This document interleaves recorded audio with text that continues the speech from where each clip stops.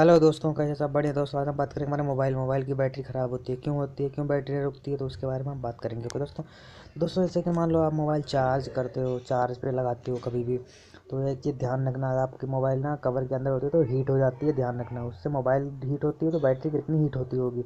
तो आप अपना मोबाइल का कवर निकाल दें।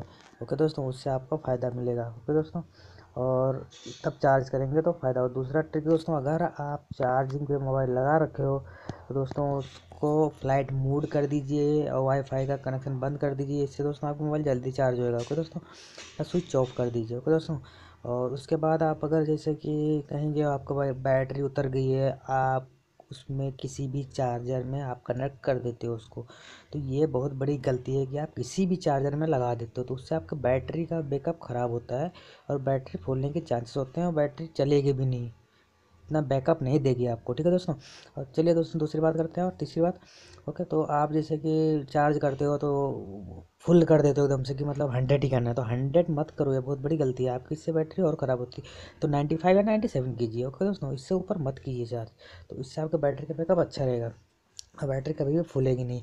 तो दोस्तों, और उसके बाद अगर ऐसा आपकी, मान लो आपका डाटा केबल होता है, आप कहीं लैपटॉप पे काम कर रहे हो कुछ भी कर रहे हो तो आप उसमें लगा देते हो कि उससे उससे मत कीजिए, उसका पावर कुछ और होता है और अपना, आपका मोबाइल का पावर कुछ और होता है तो आप अपने चार्जर ही यूज़ कीजिए, ओके दोस्तों? तो ये रहा हमारा ट्रिक और देखिए, आजमाइए दोस्तों, यूज़ कीजिए अच्छा ट्रिक है, ओके सब बचाइए, अपना मोबाइल को बचाइए, ओके दोस्तों? तो मेरे चैनल को लाइक कीजिए, सब्सक्राइब कीजिए।